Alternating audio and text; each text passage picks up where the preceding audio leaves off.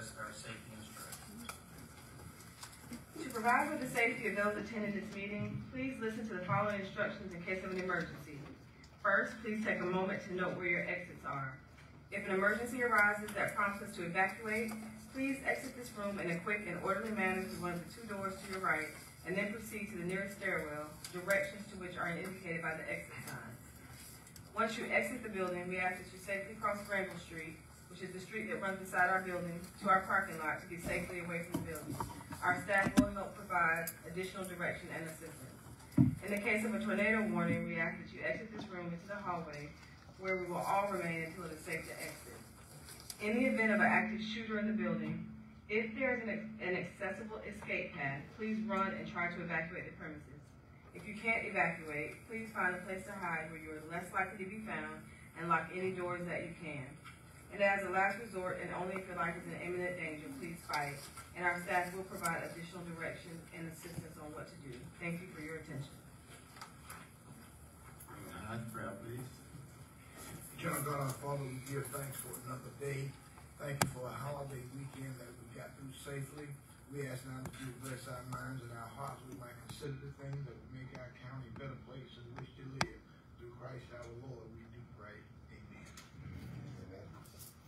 you have received the minutes of the previous meeting and the package. Any, any additional corrections? If not, is there a motion? Second. Questions? All in favor, let it be known by the voting sign aye. aye. All opposed? And none, the minutes are approved. Um, uh, Mr. Evans, schedule appointments. Sir, Mr. Chairman, I'd like to invite Ms. Michelle Evans, our health director, to come and present uh, the latest COVID-19 Good evening. Hope everyone's doing well. I have just a quick update for you on COVID. So as of August thirtieth, we had fifteen thousand eight hundred and seventy-nine cases of COVID in Edgecombe County. And as we've talked about before, now we have all these home tests that are not reportable to the health department, so those are reportable cases that we have at this time. Unfortunately, we have seen an uptick in COVID cases, so in the month of August, we did see an increase looking at the first full week of August, we averaged 30 new cases a day, and then declining each week from 19 to 18 cases a day. So we are seeing it come down, but we have seen an increase in COVID recently. Unfortunately, we have had 160 deaths in Edgecombe County due to COVID since the start of the COVID, and our first death, as you remember, was reported April 7th and I won't read all of these, you do have these, but the CDC, CDC has streamlined their COVID nineteen guidance for the public, um, around quarantining and exposures. So recommending that instead of quarantining, if you were exposed, um, to COVID nineteen, you wear a high quality mask. So now instead of staying home and awaiting, if you're not having symptoms, you know that you don't have COVID. You just think someone told you you've been exposed, you've been around somebody you think had COVID, but you're not showing any signs or symptoms. They're recommending that you wear a high quality mask for ten days and get tested on day five. Um, they're reiterating that regardless of vaccination status, you should isolate from others when you have COVID nineteen. So it is still necessary to isolate and stay home and stay away from those when you do have COVID nineteen. The recommendation is still on day five to wait to get tested. If you do have COVID, you are most likely, um, most contagious in those first five days. Looking at our vaccination status, we have not increased that much. People vaccinated with at least one dose, we're still at fifty-two percent vaccinated. People with the initial series complete, we're at forty-eight percent. And people vaccinated with at least one booster or additional dose, we're at twenty-five percent.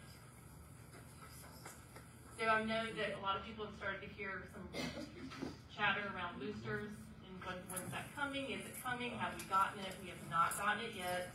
Um, the FDA has just approved the emergency use, so the state is now taking orders basically from the health department on how much vaccine that they can handle. Um, so we have put in our orders for the bivalent booster, is what it's being called. And basically, what that is, it's a mixture of the two vaccines that will provide protection against the original coronavirus and the Omicron. And so right now, we are waiting our delivery for the vaccine, and then once we have our vaccine, we will start taking appointments for that booster. When it is released, Pfizer will have a bivalent vaccine for ages twelve years of age and older, and Moderna will be for ages eighteen and older. That's my report. Any questions? I have one. Um, have we had anyone, um, reporting monkeypox in Edgecombe County? We, um, over the weekend have had one confirmed report of monkeypox. Do we have the vaccine or are we gonna get it? So the vaccine is very scarce. Um, there's five counties, um, in North Carolina that have the vaccine, that what we are supposed to do is if someone meets the criteria to be vaccinated, we work with another county to get them that vaccine. The state is, there was a press release that just came out today from the state that they are working on getting more of the vaccination out to more counties to be able to target those who really need the vaccine. But it's not a vaccine that will be like COVID for everybody. Does, so does the monkeypox vaccine or their, their procedure is the same as COVID? You have to quarantine, you have to do, what's the procedure? So somebody who's been exposed, um, and has an outbreak for monkeypox, um, they're gonna have, the, one of the key things you're gonna see is, or, or you may not see depending on where they have it, but it's blisters. It's gonna be exposed oozing blisters. Um, it could be in a variety of areas on the person's body. Um, and so typically they do have to stay, they cannot, they have to stay home. They're not isolated, but they're not recommended. We tell them to stay home, not go to work um, until the scabs have completely dried up and fallen off of the body. So what about the people around them? Is it contagious the way COVID is? That everybody in the house has to quarantine or what? So just to give a little information um, about that, so who should get vaccinated for monkeypox? In the current outbreak, you may want to get vaccinated if you have been identified as a close contact of someone with monkeypox. You learn that one of your sex partners in the past two weeks has been diagnosed with monkeypox. Um, you have had sex with multiple partners or group sex. You have had sex at a commercial sex venue. You have had sex in an event, venue, or an area where monkeypox transmission is occurring. Um, get vaccinated as soon as possible after exposure to someone with monkeypox, ideally within four days, which provides the best chance to prevent the disease or make it less severe. So to not go into a lot more graphic detail, um, the, primarily the transmission that we have seen in the United States has been from close skin-to-skin contact.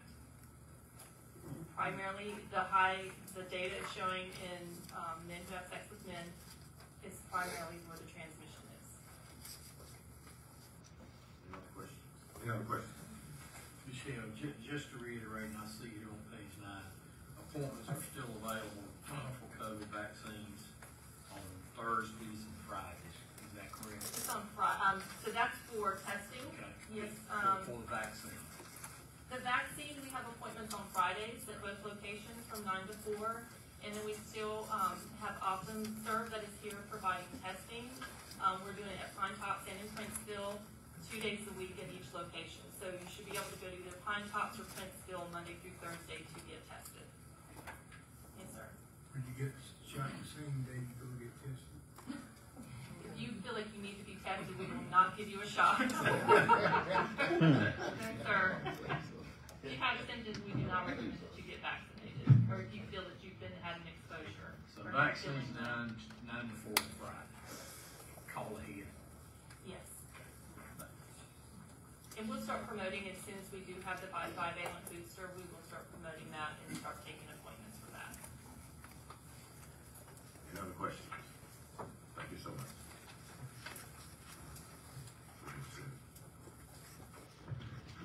Uh, next on the agenda, you see we have scheduled Mr. Ted Cole with Davenport and Company. I'll ask him to come forward. As you know, uh, you included in your budget this year, um, money to, um, uh, to borrow funds to purchase vehicles at Sheriff's Office. And so, uh, we had uh, Davenport Company to assist us with, uh, putting together a request for bids. We received terms from a number of different things. And we have a recommendation tonight on which uh, thing to go with, and Mr. Cole will review that for you. You do have in your agenda packet the presentation that you'll review tonight. All right, excellent. Thank you. Good evening. Good evening. Um, appreciate the opportunity to present. Um, I was just gonna walk through this at a high level. Um, as the county manager said, we did an RFP. If you go to the second page of our memo, it has page one at the bottom right corner. Uh, you'll see the banks that responded to the RFP. We received eleven responses. Um, many of these banks, you will recognize their names, some you may not, but they're all active in responding to RFPs for local government finance. Um, we've highlighted Truist Bank, which is the merged bank between SunTrust and BB&T. They're operating now under the name Truist as the most uh, advantageous bank, and that's ultimately going to, or proposal, that's going to be our recommendation. Um, on the right-hand side of this page, you'll see there's two columns, columns C and D. Column C says a, a BQ interest rate, that stands for bank qualified. Column D is non-bank qualified. In talking through this with staff and the likelihood that the county will not issue more than ten million dollars worth of debt, tax exempt debt in the current calendar year, you'll be well below that. Um, we can do this on a bank qualified basis, uh, which gives us a slightly better interest rate. Um, the banks are able to get more favorable tax treatment on loans that they make that are bank qualified. So we're gonna be recommending for Truist that rate under column C, which is a three point two four percent.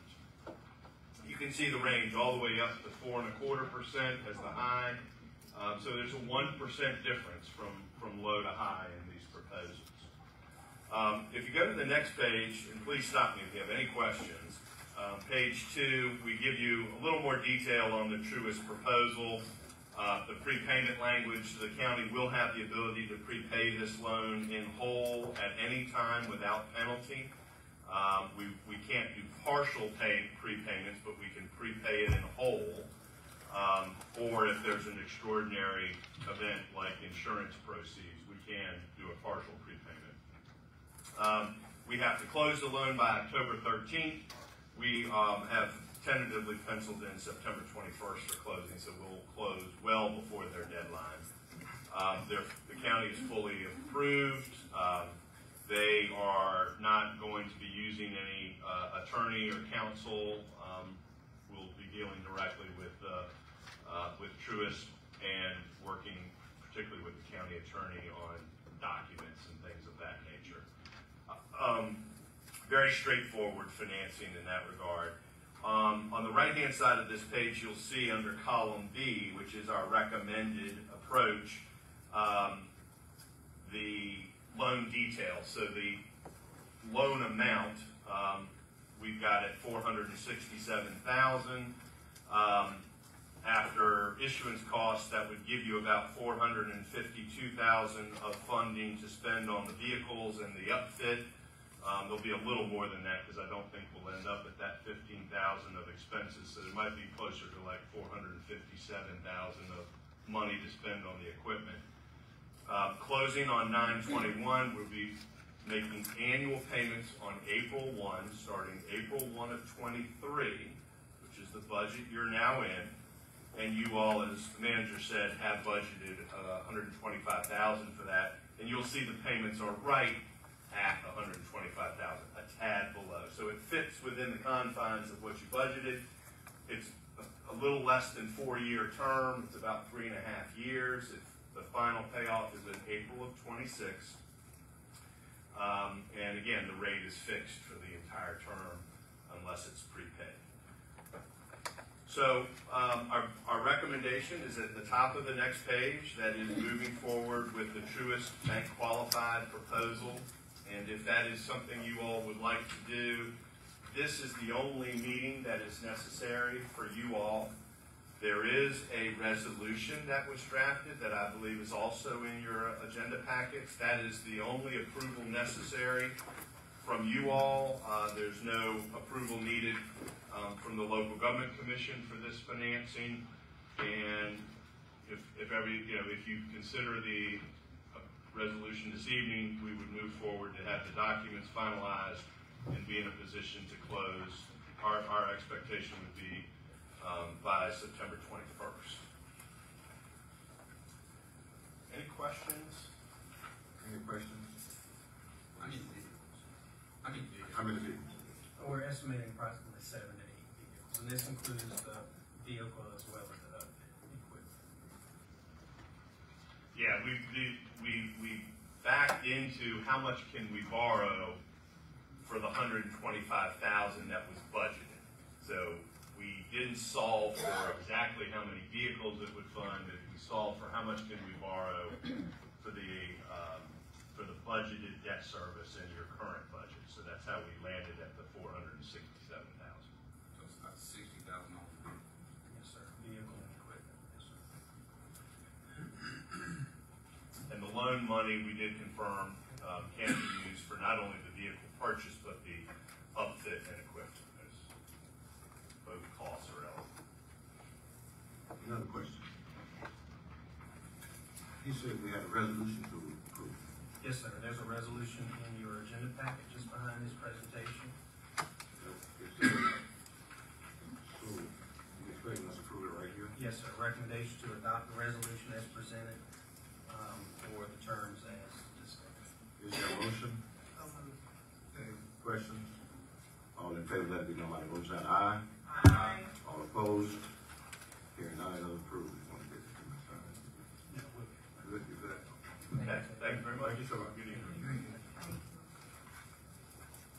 Item C, Item C, Mr. Chairman, is, uh, we have a representative here tonight from, uh, Altus Group to present a request to waive the tax penalty. I would like to first invite Ms. Teresa Lewis, our tax administrator, to come forward, uh, to give you some background on this particular appeal. Good evening.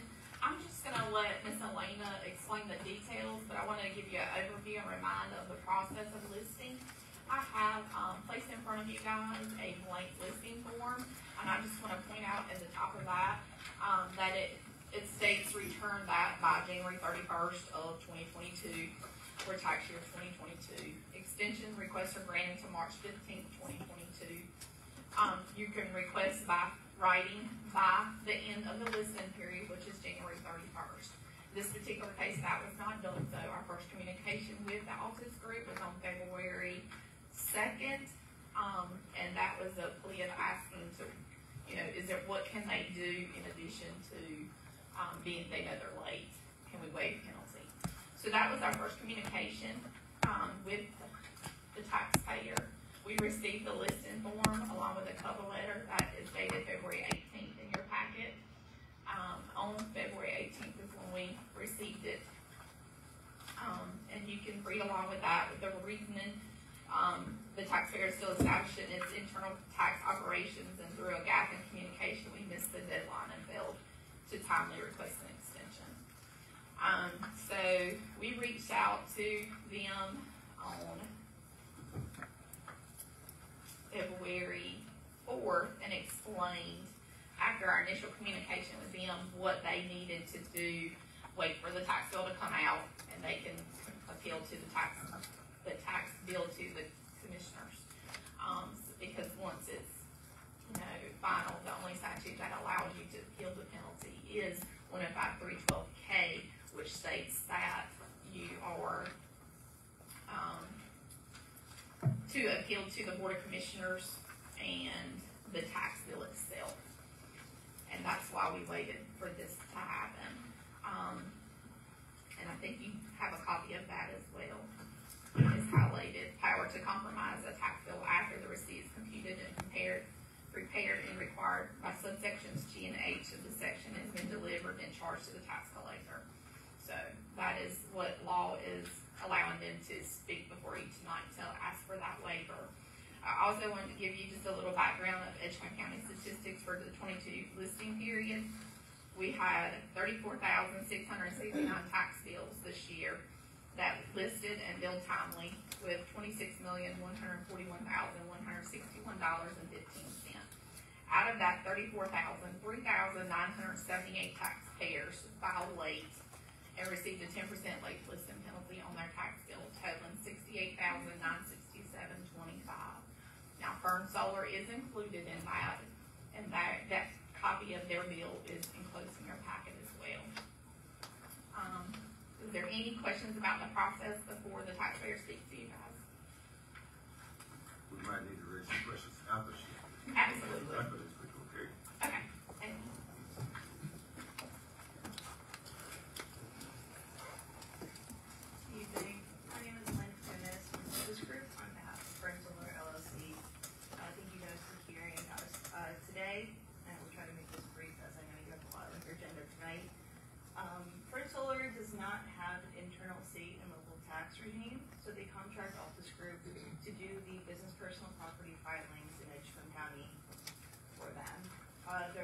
filing was in 2021, where we did file the extension, or we did request the extension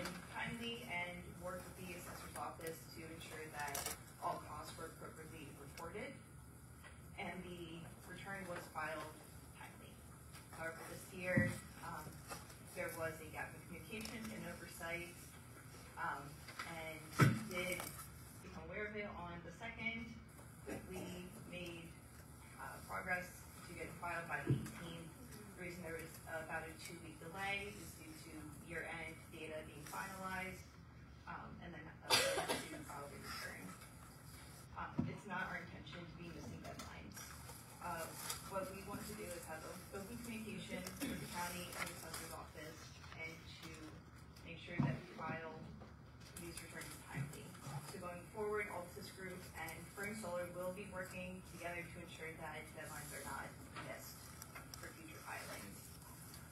Um, as you may be aware, property tax is one of the largest operating expenses for solar facilities. Um, however, North Carolina does offer a partial exemption for solar for solar facilities, um, which allowed for solar to be financially viable and build this facility in Edgecombe County, uh, regardless of or sorry, despite that exemption, Prince Hilbert does bring in over $200,000 of tax revenue annually, and they will be present in this county for at least 30 years. You can expect to see that tax, re- that tax revenue coming in. Um, I ask that the commissioners consider our good faith efforts in last year's filing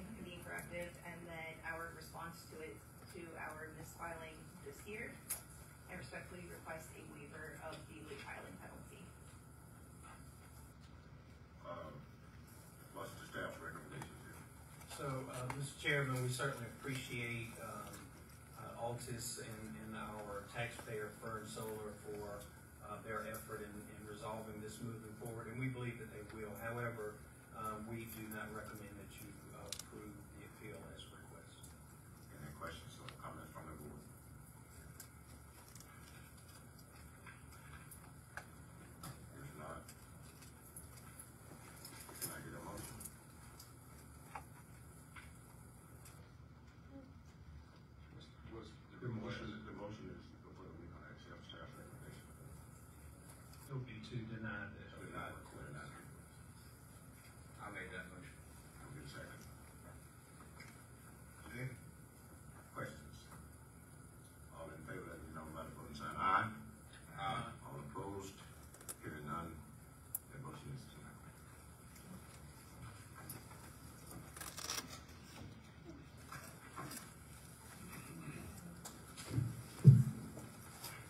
At this time, ladies and gentlemen, we have uh, public petitions. I think uh, we've had uh, probably, uh, I mean, we've had four to call ahead to sign up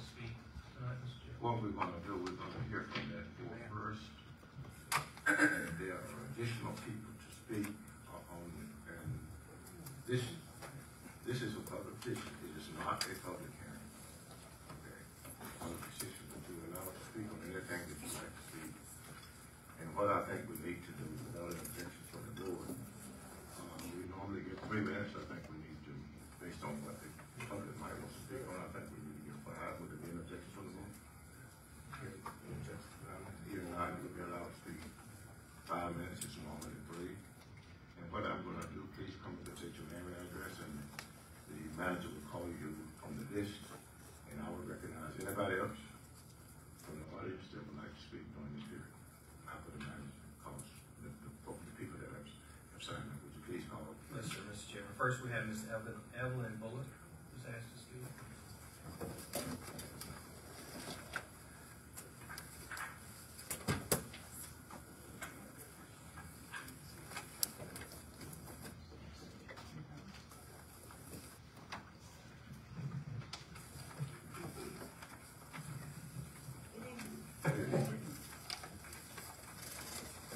Evelyn, I'm Phillip, and I reside at two seven two four Gary Road, Rocky Mount, two seven eight zero three. All of my life, except perhaps eighteen years, I have resided in Edgecombe County. Since the death of my husband, I moved to Nash County for the first time in my life and that was eight years ago. I you tonight not to ask for favor or not to favor the demerger.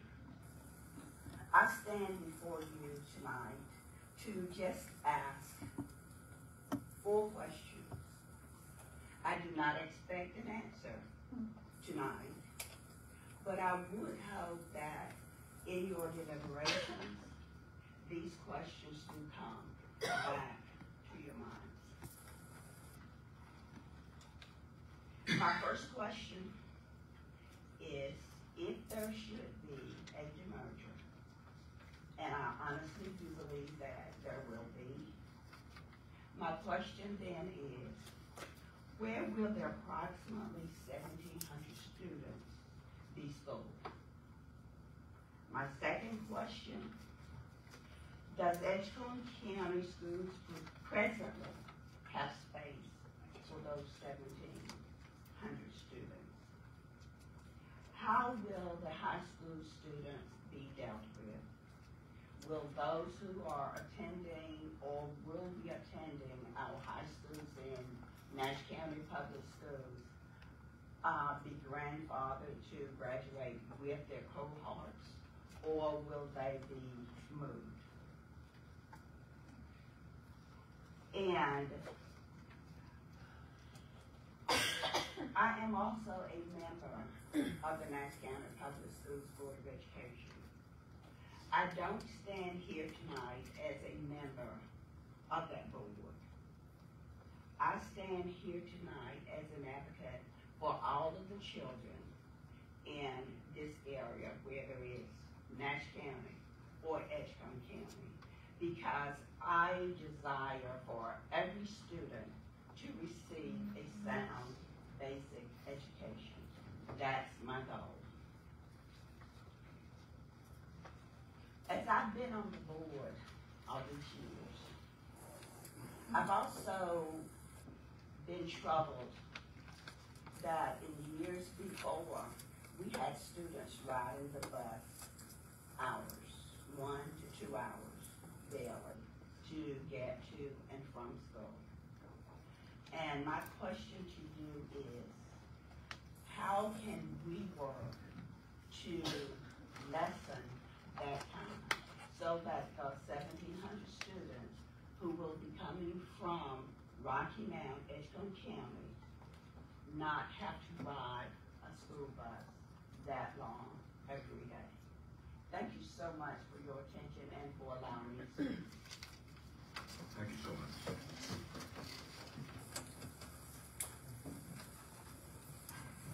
Next, Mr. Chairman, uh, is Mr. Nehemiah Smith Jr., who's asked to speak tonight. Good evening, Commissioners. My name is Nehemiah Smith Jr. I reside at sixteen twenty East Virginia Street, Rocky Mount, North Carolina. Uh, I pastor in Nash County, but I live in Edgecombe County. Uh, I recently returned from a disaster relief mission in, uh, eastern Kentucky to help victims of flooding. Uh, I had been to Kentucky before, but never to this part of the state. I still wanted to do some research on Kentucky and what it's known for. Uh, Kentucky is known for coal, bourbon whiskey, college basketball, Kentucky fried chicken, bluegrass, and horse racing. At the top of most of the list is horse racing, specifically Kentucky Derby. In its 147 year history of racing thoroughbreds, no one has ever entered a jackass to run in the Kentucky Derby. Because jackasses are not prepared, nor would they qualify for the race. For some time now, the specter of school split has loomed over Edgecombe and Nash counties. Initially, robed in the, the lie of demerger, this hot button issue in our community has garnered support and disdain. I have been and am against such a move at this time. Why? I believe that it would be detrimental to our children and to the county as a whole. It's about the numbers. Edgecombe County Public Schools ranks among the five worst counties in the state for the rate of failing schools, 71.4%. I think there are a lot of factors that go into that. But should we add Baskerville, Parker, Johnson, and Fairview, the percentage goes up to 77.8%. We don't want any percentage of failure for our children. But instead of climbing out of a hole, you are proposing that we dig ourselves a deeper one should you decide to vote to change the boundaries of the existing system at this time. I'm not saying it doesn't need to happen, just not right now. Here's a novel idea. Demand that our legislative delegation revise the current legislation to read that Edgecombe County is only responsible for capital outlay projects that are within the city limits. Improve on what already exists. Concentrate on getting the county's affairs in order, including supporting our share and giving more resources to the existing system, school system, school system, at least what they ask for. And then consider how we can effectively pull in Edgecombe County student residents into the existing school system. That's a thoroughbred decision. But to say that we can split the system, add more low-performing schools to an already low-performing system, find imaginary money to fund the venture, work from wish lists rather than plans, and have success for our students and the county is equivalent to running a jackass in the Kentucky Derby. The one thing that I found out in, in my years of just dealing with people and following the masses, a lot of times in the midst of following the masses, the M falls off. And then you're left following what's left, what, what you have remaining. We don't need to do this because in this we will lose. Let's not do this and then later on regret that done it. There are commissioners here that have voted for children each time. I thank you for that vote, and I'm hoping that all of the commissioners will vote for the best interest of the students and for the residents of Edgecombe County. Thank you. Next, next is, uh, Mr. Bronson Williams. I want to say good evening to the board. I'm nervous. I'm trembling. And I'm waiting to see how you'll vote tonight. But I hope that you're not going to vote to take control of four schools in Rocky Mountain. Something seems a little strange that we are wanting to, with all deliberate speed, to drive a wedge in the heart of Rocky Mount, North Carolina. A city that's right now working to build its downtown and bring unity uh, between Nash and Edgecombe County. Yet, it seems to be the priority of this commission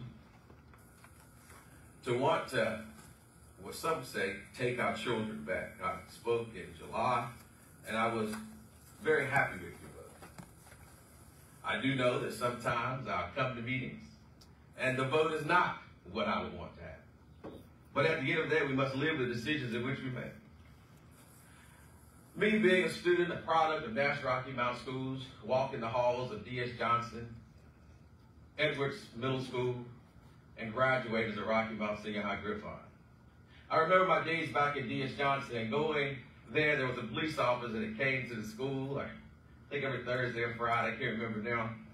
But that police officer would talk about drugs. He was a DARE officer. showed us all the different types of narcotics that existed and what effects they could have. But beyond the effects of the drugs, he talked about peer pressure. Many of us in life find ourselves squabbling with peer pressure. What are our counterparts? What are our community people telling us about this, about that? And we find ourselves succumbing to peer pressure and ultimately getting addicted on a substance that means us harm. I hope that we will not get addicted to failure. I believe in Edgecombe County, like many of my friends that graduated from here, wanted to move away, go here, go there. What did I do? Stay right here, Rocky Mountain, North Carolina, in Edgecombe County at that. This is where my heart is. But I would hate for us to make a rash decision that one, I keep hearing the notion that the money follows the children. Talk to a superintendent today. All the money don't follow the children. We talked about low wealth monies and how the county must give its expected contributions to education within the county to even continue to receive low wealth funding. Educational funding is a very interesting piece. One that we employ our school board members to deal with. They hire the professional staff.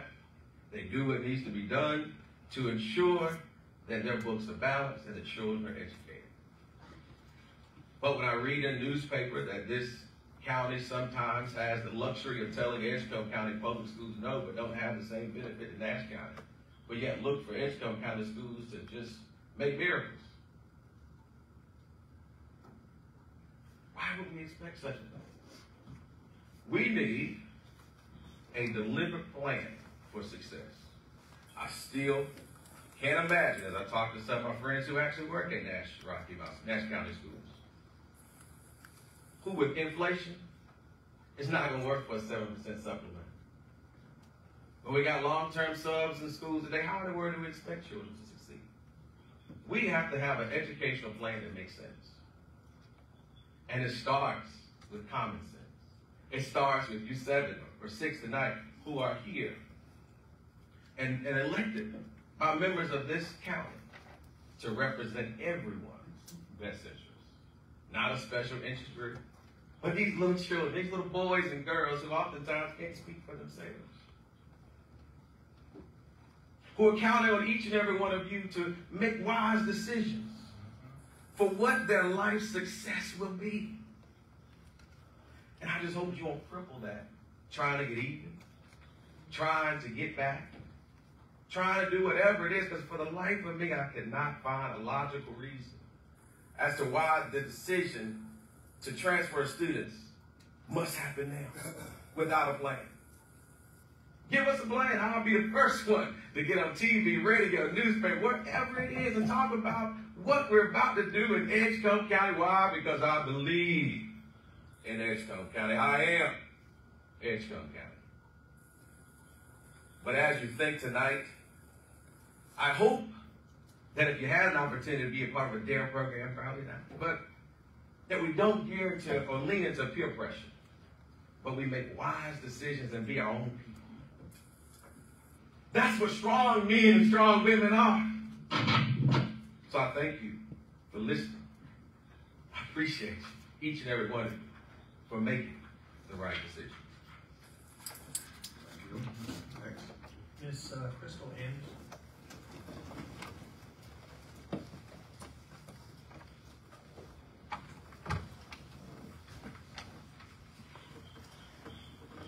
Good evening, everyone.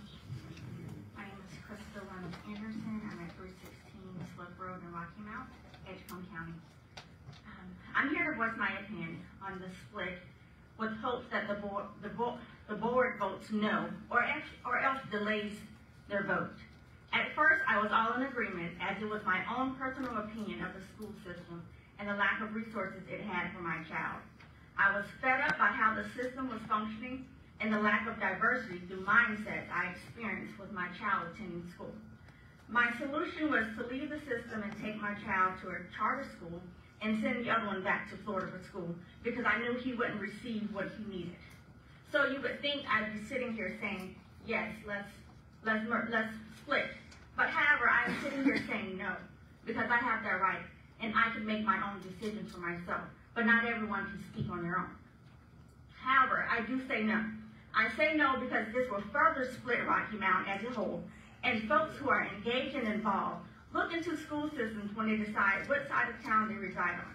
Individuals with vested interests decide to buy and settle where they can see growth. Edgecombe County is growing, but what we don't want to do is stifle the growth trends we're seeing now. We don't need to overburden the school systems, but allow Edgecombe County to continue to advance and develop strategies while they grow so that they are prepared to take on the additional weight. I say work with Nash and see how we can improve upon what they're doing for our kids because there are many broken homes and families, um, which leads to children that need more than just a teacher. They need a whole support system. And I don't believe that we Edgecombe is prepared at this moment to take on that burden. And not necessarily that it's a burden, but that's an extra load that we need. We don't need to take on at this time. Transitions aren't easy, so don't make it hard on us. Um, I don't know the history of the school system, but I, what I do know is the present. And presently, I believe in my uneducated belief that we need to work together. Uh, we need to work together as a community. We need to unify Nash and Edgecombe County school system for the betterment of Rocky Mount. We can't allow politics to take power. We can't allow to play politics over. We can't play politics over at the expense of our kids. We need practical solutions and not theories. And I do want to leave a couple of questions that I had um, that I want you to just think about as you're making this decision.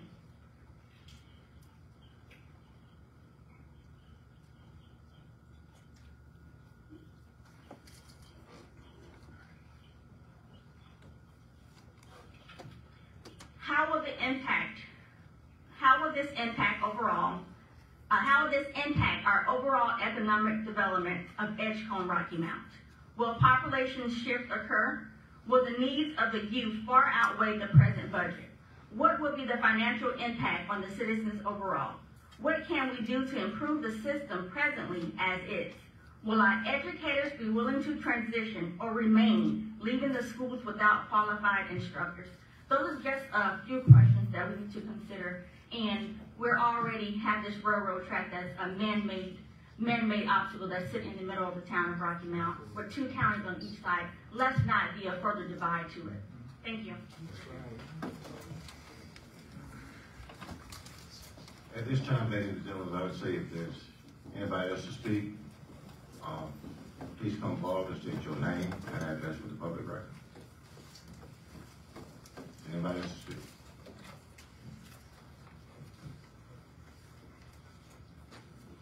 Good day, Mr. Chair, members of the commission. I am Raymond Tribbett, Chair of the Board of Education of the Edgecombe County Public School System. On behalf of uh, my constituents, the members of our board who are here, I make the same statement, we take the same position and stance. And That is that we honor our moral obligation to educate all of the children within the Edgecombe County boundary in the Edgecombe County Public School System. Thank you.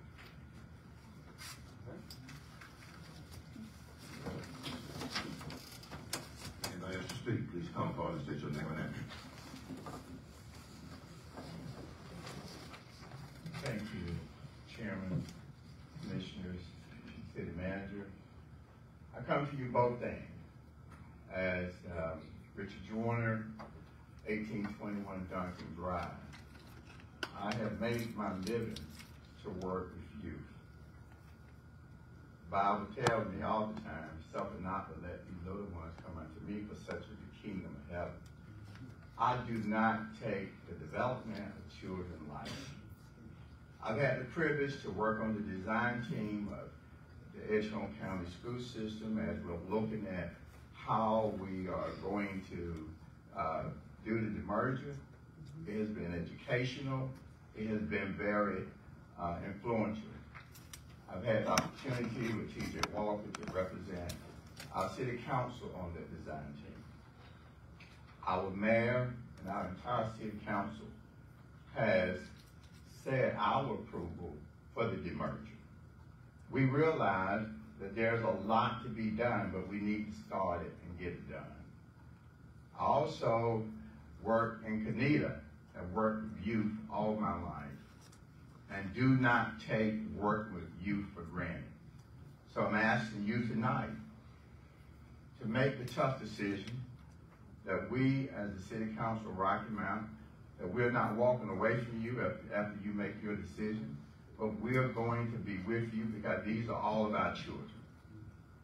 And we're committed to being with you, our school board, both National and County, until we get the best system this world ever seen that will educate our children. Thank you. And if you're not nervous, something wrong with you. Thank you. Please come forward.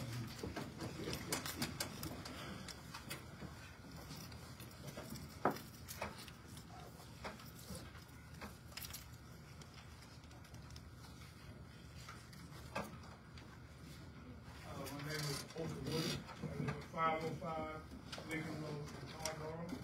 I come to you tonight as a citizen. Uh, I hadn't planned to speak, so I don't have anything prepared.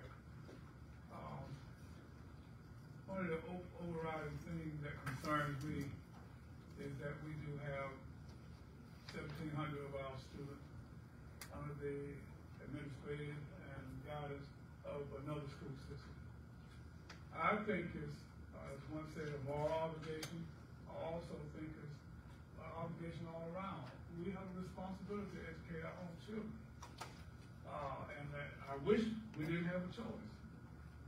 Uh, if I were the legislator and had influence, I wouldn't give Edgecombe County a choice because it's our responsibility to educate our children. We have to figure out. I have confidence in you all as county commissioners. I have confidence in the school board, people I know. I have confidence in the state education board and the state of North Carolina to get this done. My understanding, we're the only district that does not educate their own children. Um, I don't think we should continue with that distinction. Uh, the people keep saying, don't make the change now, don't make the change now. I believe in making change when you have an option. I believe in making a change, getting ahead of the curve. We see where this is going. Nash County went to the legislature to get the change that we're making uh, right now. Where, some people come up here and think that we're talking about moving them this year or next year. What the school board is asking is for an opportunity to develop a. No, there's not a plan. The plan can't start until the county commissioner give them permission to do that. And how can we, two years from now, we could be standing right here and somebody say, well, we can't do this because we don't have a plan. But if you give them an opportunity to develop a plan now, with the option later on, once the plan developed, you got a chance to look at it and decide whether you want, it's a good enough plan, you can have input into it. They'll be working with the school, the, uh, state board of education and other officials at the state level to make this happen. I don't like the idea of selling uh, school board short, selling yourself short, selling our teachers short, or our students short. I was a professional for thirty-two years working with mental health, and I can tell you, teachers don't work in that field for their money. They work because of their dedication. You, need to really understand that. So there's not gonna be a mass resignation, there's not gonna be an abandoning of our children. These teachers are dedicated, these administrators are dedicated to educating our children. Is it gonna be an adjustment? Yes. But why not decide to voluntarily do this rather than let somebody go back to the, to the, uh, legislature and make you do it, then you won't be prepared. Now, one of the things that concerns me as well, because we're spending eleven percent, to help, uh, Nash County to improve their capital, uh, outlay. But that money can be used to improve the school system within Edgecombe County. And yes, the money does follow the students. I, I, I was chairman of the board of a charter school, and I know the money does fall to schools. So that is important too.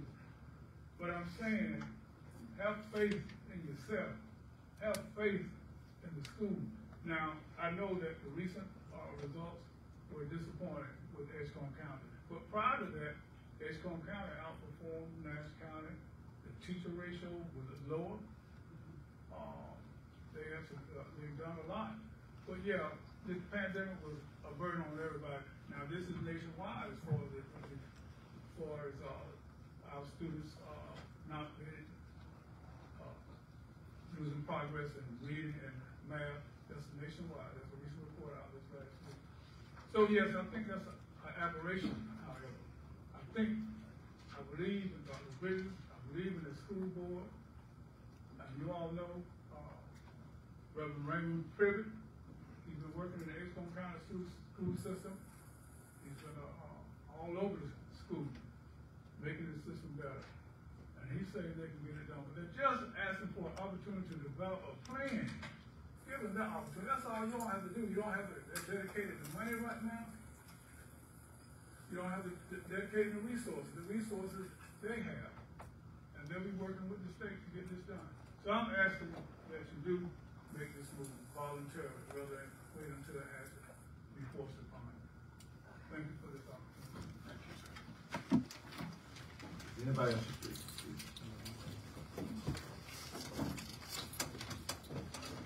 Good evening. One two seven Midway Lane, Tarboro, North Carolina. Mailing address P.O. Box thirteen ninety-one Pine Top, North Carolina. For anybody interested, we're three miles of Pine Top, seven miles of Tarboro, but I got a Pine Top, a Top address. First of all, I'd like to say, y'all need to put the speaker in the back, because with the people facing you, people can't hardly hear you, um, from my, um, iPad. I mean, it's kind of hard for me to do too. But anyway, I, I wish I had the video that I took off work and did, um, over at the old, um, what was the building beside the library in Rocky Mount, when the joint Edgecombe County Commissioners and the Nash County Commission met about this very issue. I think it might have been the very first meeting. Gateway Partners. Gateway Partnership, right, okay. I wish I had that video, but I do have all the others, so I'm kinda, I, I mean, I, I, I'm glad y'all gave me five minutes, so I didn't prepare anything tonight, so I didn't come to speak. But I'm trying to figure out, have anybody, did anybody attend the meetings? Or have they looked at the videos, cause they're all on my page, on my YouTube page. So y'all educate yourself before you come and speak. So I, I'm just trying to figure out what are these folks talking about? I have not heard anybody say anything about, um, why we're at this point. Now, let me go back. Now, I'm fifty-nine. I've been active in Edgecombe County school system, the county commission. I was coming with, most of the time, I was here, many times, I was here by myself. In, in the school system, I challenged some schools to do PTO. I sat on the SET team. I was on the Edgecombe County Board, uh, uh, uh, advisory committee for the school system. At meetings late at night, wait for them to come out of closed session, work a real job like some folks need, cause some folks got too much hand, uh, time on their hand. And, um, but anyway, get back to the meeting. I got meetings on my, on, on, on my- YouTube page. But I have not heard anybody say why we're at this point. Unless I'm mistaken, I'm, I'm kind of slow, getting old, see my head getting ready. But, um, it was Nash County that created this mess. Now, if I understand, I, I, I was going to the Rocky Mountain City Council meetings before any of the city council members that are up there now. So I was going to those meetings, was going to Nash County School Board meetings, videos. So again, I don't understand why folks don't understand why we're at this point. Now, if I remember correctly, Nash County Commissioners, uh, didn't want Rocky Mountain City to keep on paying the gap money. Now, that's, that's, that's, that's, that's what I, um, remember. And I might be wrong, I stand to be correct on anything I do. That's why I come out video so you can pay it back and, and call me wrong. But why ain't nobody talking about Nash County? Is this same energy being taken to Nash County School Board? And I like to call names, because they ain't scary.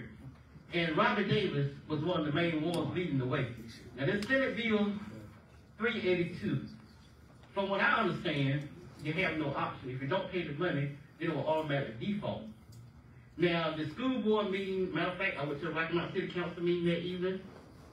came back to Princeville to the meeting you all had with the joint school, bo- with the school board and videoed that meeting, and that was a powerful meeting, it covered everything.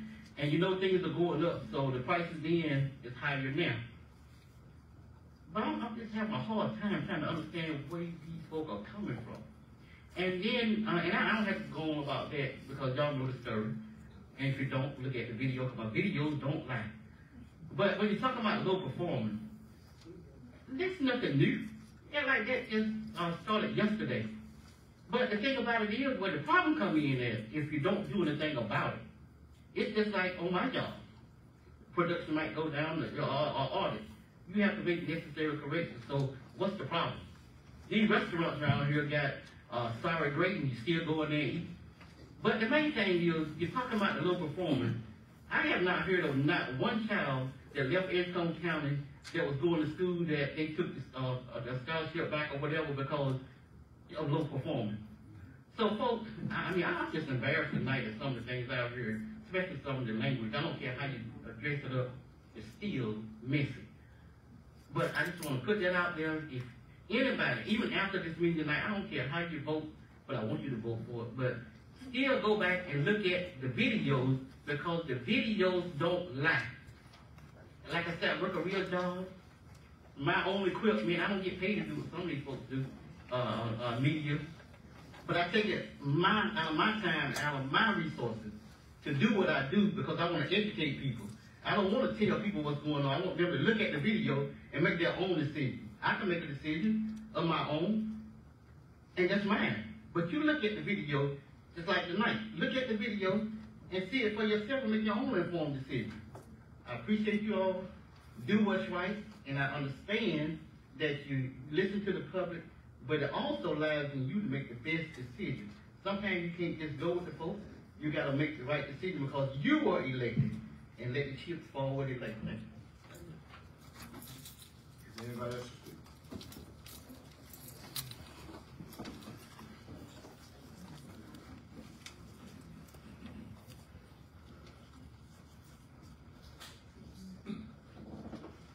Good evening.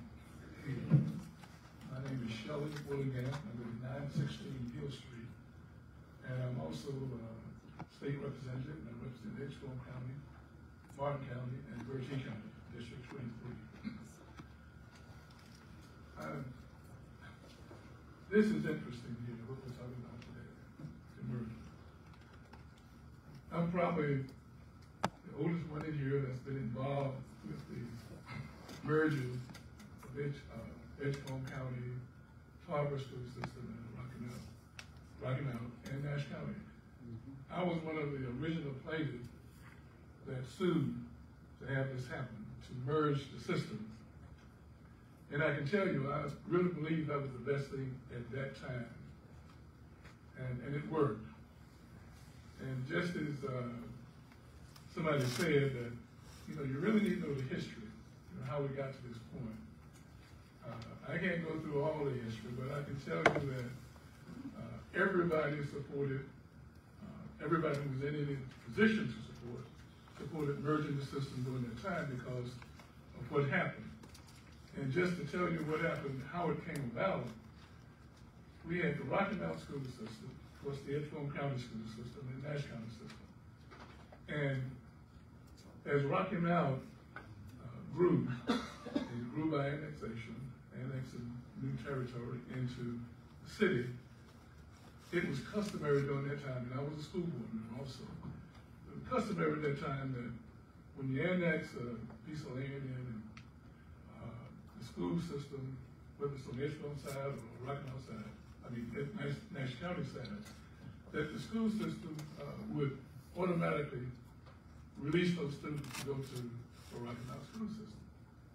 Well, it got to a point where Nash County, County School Board, they decided that they were not gonna release any more students to the Rocky Mount City School System because, uh, this is history, because, uh, what we discovered was that the Rocky Mount school system or the Nash County school system, for some reason felt like it was too many, uh, they were losing too many students to Rocky Mount.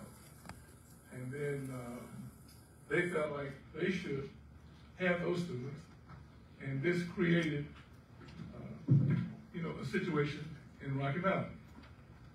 What happened is that the Rocky Mountain School Board, uh, decided that there must be something done to try to uh, alleviate the situation. And one of the things they came up with, because at that time, Rocky Mountain City School System, uh, was predominantly black. Matter of fact, it was about eighty percent all of a sudden, black. And so Nash County decided that we'll keep all the students we're because the areas that were being annexed were areas that were being, uh, populated by mostly whites. In this way, this is why the Rocky Mountain school system became more black, because they're not getting as many white students in the system. So, a group of business people, wasn't just, uh, educators, but business people, felt like the best thing for this thing, for, for Rocky Mountain and the area, was that we had one unified system. And so, over a year, almost two years, it was negotiated and worked out, uh, to bring the system together. In order for this to happen, nobody would agree on their own, so we, we sued. And as I said, I was one of the, on that suit. And, and as a result of that, of course, when we pulled in Edgecombe County or Rock Island City Schools and Nash County Schools, you had Edgecombe County Schools and you had Tarboro Schools. So we made them part of the suit because there wasn't no need to take some of the students out of Edgecombe County, uh, you know, or, which were in Rocky Mountain, and not leave the other two systems out, which is Edgecombe and Tarboro. So that became the suit. Uh, suit was Edgecombe County, Rocky Mountain, Nash County, and Tarboro. So you can see how complicated this got. But at the same time, we ended up with one system, Edgecombe, I mean, Rocky Mountain Nash, uh, school system. And that worked. But throughout the years, over the years, for some reason, at some point, somebody decided that this was not good, and Edgecombe County is not paying enough money to support the students in the system, which we were. Uh, and as somebody mentioned, whatever the difference was between what Nash County paid for students and Edgecombe County paid for students, the difference was paid, made up by Rocky Mountain. They, Rocky Mountain took that on. But as you know, as we moved down the road, somebody decided that we don't want any Mountain money involved in the system. So, when we negotiated, again, I was part of this negotiation when we went to do another deal, uh, to get Mountain out of the school system, out of school system. It was put in the bill that Rocky Mountain could not pay anything to the Nash Rocky Mountain school system. So, that was money taken away there. And the other thing was that Rocky Mountain would have to, uh, come up with another formula for putting money into the Nash County school system. So, this is how we arrived here today. Now, part of the thing that when we negotiated the deal, and I was part of the negotiation, putting the bill together, uh, this thing about demerging was not in the bill that we agreed on. When we went to committee, we came out, it was added. This was something that I didn't agree on, but it was added. That if Rocky Mountain did not pay a certain time, then demerging would immediately take place. And the other thing that was put in that I didn't support at the time, that was not negotiated on, is that anything, uh, the Rocky Mountain name on it, they wanted it off. They wanted Rocky Mountain out of the name of the system, it be Nash County School System, but it would still keep Edgecombe County, uh, Rocky Mountain students. So this is, in summary, kind of how we got to where we are right now. But I can tell you that what you do today, uh, and somebody asked me, that newspaper called me, asked me, did I support, uh? And I can tell you emphatically, I think that's the best thing today that we should do. It should happen. Now, just as somebody also mentioned, there is, uh, money does follow students. And there are funds, there are resources that can, uh, I think will make us, uh, in, put us in a position that we can take care of the additional students that we got. And I can tell you as far as the school system as a, uh, as a unit and the quality of education, I would put it against any other school system, Edgecombe County. And I brag about Edgecombe County school system as I travel around the state and even across the country. I was involved in a lot of meetings across the country where we were talking about innovative school programs. And to my, not surprise really, but to my delight, on many of those occasions, I traveled to New Orleans, traveled to Charlotte, traveled to Florida, other places, talking about innovative things in education. And as I got there, one of the things that jumped out with the expert that they were talking about innovation is actually a person from Edgecombe County. That's the expert. And I know a fact that we have a lot of innovative things, tremendous kinds of things that we're doing in this school system. And, and I, as someone mentioned also that, yes, we did have some low-ranking schools this past year, but that's all over. But up until this point, I still say we have one of the better school systems in the state. And I would put that again against any school system. I have confidence in the, uh, Edgecombe County School Board, superintendent, who recently, of course, was elected, uh, voted, uh, superintendent of the state. So, we've had another superintendent who was also the, uh, state, voted head superintendent in the state. So there are a lot of good things that we should be, uh, proud of. And I think we're at that point now where we need to take our students. And I think when you hear, uh, looking back as I sit there, I see that we have, uh, people from the economic development, uh, arm, and I think when you hear them talk, the kinds of things that they're doing for the county, that I think the county's on the move, and I think this is gonna help us. And I can assure you that there will be resources to help us when we do this demerger. Uh, I, there's some, from my vantage point, and what I know, what's going on in the state, um, I'm certain that will happen. And I can, and I just hope that you don't be frightened away by some of the things that I've heard, which kind of concern me. It's obvious that people don't really understand how education is financed. They don't understand how education works in North Carolina, and they really don't understand how this will benefit Edgecombe County, because I think at this point it will. And I will do everything I can to make sure that we get the resources that we need, uh, to make this work. And I have no doubt in my mind that this will not work. It will work. So if you're gonna vote on demerger, you want my opinion, this is my opinion, I would tell you to please vote to demerge at this point. And this demerger is not gonna happen overnight. It's gonna take a couple of years, even if you vote today. It's not gonna happen today. And there's plenty of time to have the plan together, and I know that the school system is working on a plan right now to see what the, uh, kinds of things they can do, possibilities. And from what I've seen, the meetings that I've attended, there are a lot of good innovative things out there that we can do at this point with new students coming into our system. So I thank you for allowing me to babble along here, but it's a lot that's involved in this, and it's not a simple thing. And I, and I hope you understand that. So please vote.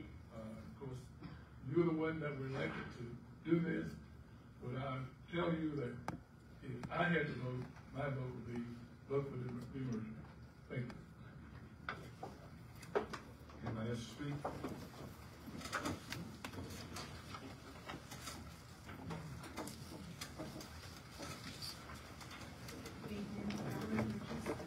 Carol, Superintendent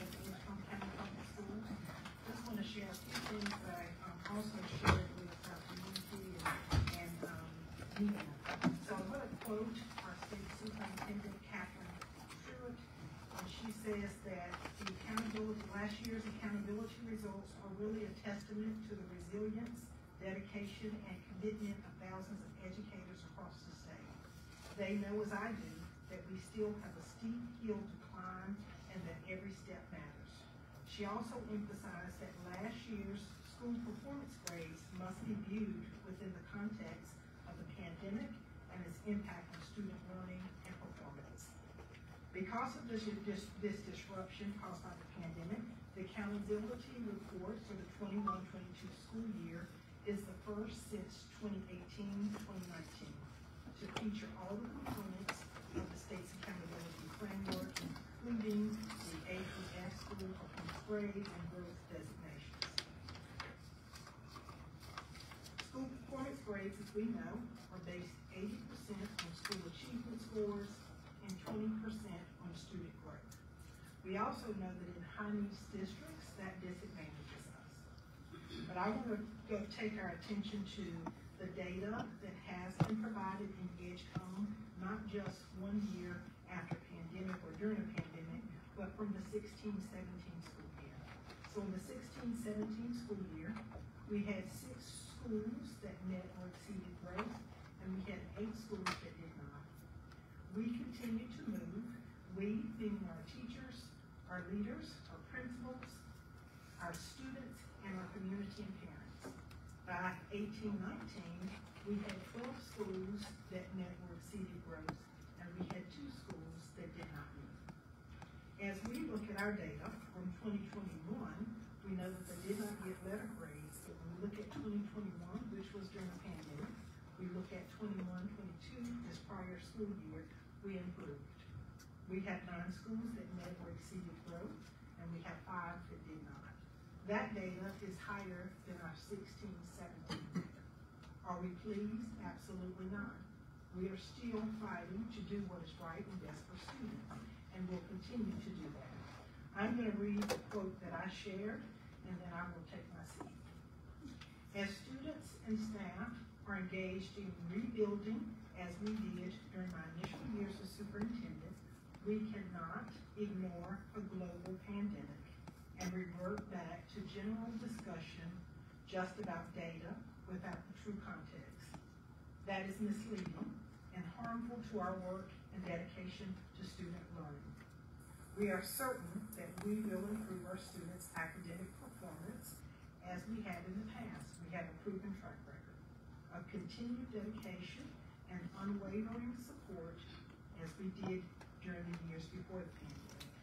We are thankful the information, but we will not we will not grade our students, teachers, or principals on a year of returning to the classroom during a pandemic.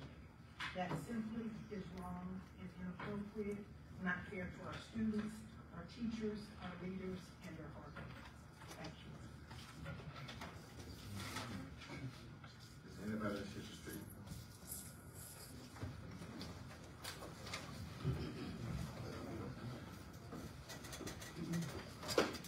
Good evening, beautiful people.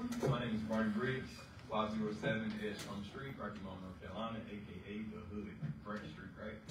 Um, I didn't prepare to say anything, but I do want to just just sitting back listening. You know, I don't really know much about much. You know, I was in college, I was in Greensboro, just moved back to Rocky Mount about eight months ago. You know, just catching on. So, but what I will say is this: um, I've never known an architect to start building a house without a plan. As a matter of fact, there's a prophet in the Bible whose name is Habakkuk. He was talking to God. He said, God, he was going through a situation. He was talking to God. God, what's going on? But I, I don't really know what next to do. And God gave him a simple command. He said, write the vision. Make it plain. How can you move forward without a vision that's written down on paper? If you don't have a plan, you already set yourself up for failure. Now, I wish I could not say my words. I wish I could use the vernacular that these guys use. Y'all sound very intelligent. I'm not there yet. I'm not there yet, right? But what I will say is this. I know. D.S. Johnson, right? There was Nash County Schools at one time. Went to O.R. Pope. I went to Edwards. Then I went to West Edgecombe. Now, D.S. Johnson, O.R. Pope, and Edwards, I was a regular guy. I got to West Edgecombe, something different happened. When I'm in the classroom, they looking at me like, you a genius. What's going on, bro? I'm a regular guy. I take the EOG, I outscored the whole school system. Look it up. 2000 what? That's 2009, 2009, 2007, 2000, in 2008, 2009, when I was in the seventh grade, and I took the EOG in Edgecombe County, at West Edgecombe, I outscored the whole district. In my eighth grade year, the same thing. Math, reading, every, I was a regular guy in Nash County. And am I, am I saying that Edgecombe County is, you know, less than Rocky Mount? No, the Nash County school system, absolutely not. Absolutely not. But I will say this, there was a there was a different level. There was a different type of and I hate I hate to be honest, but I'm just gonna be quite frank because like man, like my man on the camera said, I'm not afraid to say anything, right? I'm not scared of nobody. Mm-hmm. Because I got God with me at all times. So, but what I will say is this. If you plan to move forward with something like this, something that's big, because we're talking a lot about finances, we're talking a lot about systems and school systems and in Nash County. What about the child, right? What about the education of the child? There's a lot of people who's been in school 20, 30 years ago, but there's not really many children in here that's, going to stand up and say, hey, this is how I feel.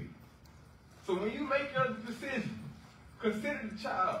Consider the child. It was in that county school system. They've already grown and attached to these type to these friends, and they've already got this group of people. They got access to people. I mean, I, I just want to I want to call it what it is. Like Nash County, you know, you, you get to experience certain type of people that I grew up again in the hood. But because I was able to experience people that was grew up a little bit different than me, they experienced a little bit more than I have. Their parents had a whole lot more than I, mine did. I was able to wish, and I was able to vision, I was able to dream, I was able to say, I'm, I'm able to become because of what I was surrounded by.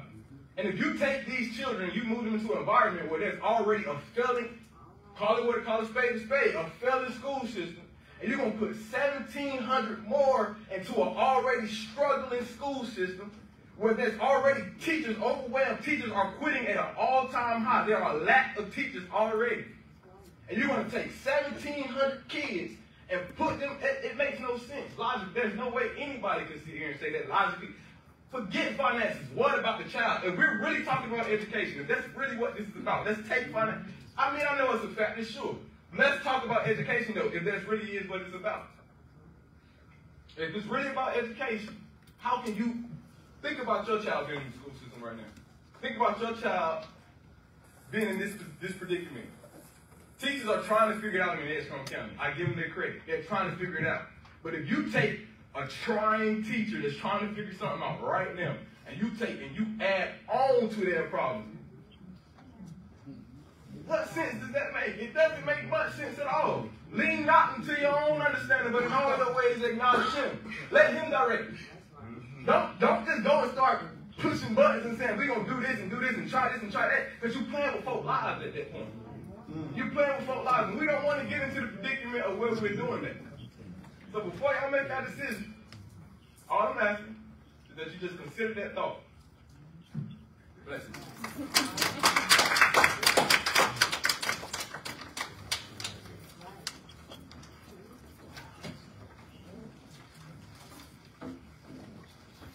My name is William McKinley Parker, 3826 Kansas Church Road, Talbot.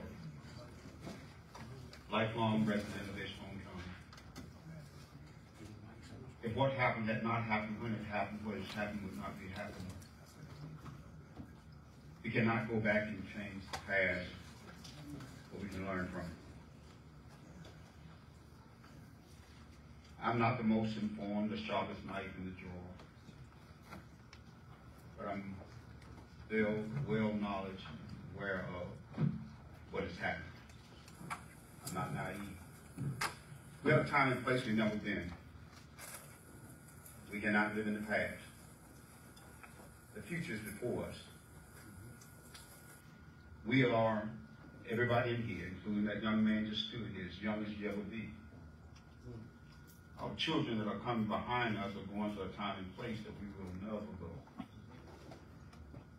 they'll go there in part because of what we did here. This nation now stands at the pivotal point. We are here because of what the founding fathers did. We cannot go back and rectify and change it. A lot of things were said rhetorically. It's good. It sounds good in and down. But let's face reality now. We are where we are because of some things in the past happened that shouldn't have happened, but they did happen. These children that are now in this school system, in Nash County school system, they won't always stay there. They won't leave there. By the same token, the children in Edgecombe County school system, they are there, they're going to leave there and go elsewhere. But what about those who will come eventually, if the Lord won't come before then? What will we do today that will impact their lives? How long will we continue to depend on somebody else to do for us when we can do for ourselves? Hmm. I hear the rhetoric, I understand the knowledge and the fact that you need a plan. He who failed the plan has already planned to fail. That's reality. But this is planning. Planning to change what is that is not the best for our children. Again, you're looking at another system to take care of your own. I understand you don't have a plan, but yet at the same time, I hear that same God saying to us, we walk by faith, not by sight. You got to see it before you do it, you, you, you're in trouble already. But I believe that we have the same resources in the minds, brilliant minds, in Edgecombe County, that we can come up with a plan to do for ourselves and stop depending on other people. As long as you depend on other people to do for you, then they control you. Their best interests come first. Take care home. Take care of your own. It has to start somewhere. If we're not willing to take bite the bullet and start now, take self out of the picture, put your egos aside, and think about the future. Yes, we are not the best, but can we do better? Yes, we can. If better is possible, good is no longer an option. We think we're doing good now, but can we do better? Better is an option. I would say tonight, let's do what's right. Let's do what's right for the future. We, as young, we are as young as we'll ever be right now. Don't die and go wherever you go to spend eternity and wish I had. Do what's right. Anybody else wish to speak? Yes. Dr. Evelyn Shaw Woods. Eighteen oh nine Spencer Drive. I could not sit there without making this statement that I've made to me. All of this that we are talking about, I decided about two o'clock this morning to write history, because I was here. Started in nineteen ninety-one, that's thirty-one years ago. The state of North Carolina looked at the school funding situation and found two or three superintendents in one county. They decided that's where the word merger comes from. Back then, they said, let's merge the county and city systems so that we only have to fund instead of 200 superintendents, 100. Nash County and Edgecombe County, there were four superintendents. In 1991, when the topics started and discussion came about, Nash County merged with the city district, which included both counties, Edgecombe and Nash. We all know that. That's in two counties. Edgecombe County merged with the Tarboro City and Edgecombe County. That's why we, and we decided to name it Edgecombe County rather than Tarboro City because we had the most schools. Now, I don't intend to read each word that's on my sheet, but I plan to give it to the commissioners for your history. It should be in your book. And if anybody else want a copy of it, I want the newspaper man to have a copy, because I want you to print what I say, what's on here, because this is the issue. If you print anything. Okay, the topic came up again about merger. In two thousand and one, that's twenty-one years ago. I don't know where you were then. Think about yourself and think about where you were. I know where I was. I was at the table. I was in that room, gateway room for all the meetings between Edgecombe County Commissioners and Nash County Commissioners. Mr. John Farley was the superintendent at that time. And the two of us sat in every meeting. So there's no question about, oh, we just doing this tonight. We just started to talk about this uh, two, three years ago. No, it started a long time ago. And now here we are. The merger topic popped up again in 2015. We had newly elected people on the Edgecombe County Board of Commissioners, same with Nash, and we had new board members on Edgecombe County Board of Education as well as Nash Board of Education. But we did not, and the only point I want to make clear tonight, we didn't start talking about this this week, last week, or two, three days ago. It's nothing like that. And you're fine to give your opinion, but before you get it, you ought to know what you're talking All about. All right now. And where it came from and why we're here. Mm, mm, mm. All right, that was seven years ago. 2015. Well, June the 14th, 2016, the General Assembly submitted a Senate Bill 382. And I would have loved to have heard all of the things I'm hearing tonight and people shouting and saying, no, this will not happen. No, this will not happen. We didn't hear that. The county commissions didn't hear that. Nobody heard it. I don't know where we were. I know where I was in every meeting that they had. And starting February 24, 2020, Edgecombe County Commissioners and Edgecombe County Board of Education had our first real meeting about this issue. A few people were in attendance, but I want to know, where were you then? Mm. Come on now. February 24th, 2020. And we have been meeting, we have been working ever since then. And if you got your mouth poked out, put a smile on your face so the commissioners can make a good decision tonight. Thank you. Oh, I want, I want to be sure to leave y'all. Thank you. And that video is on my page, February 20th. I want it on there. I want everything I said. That's our, that's our video document. here in, please come forward.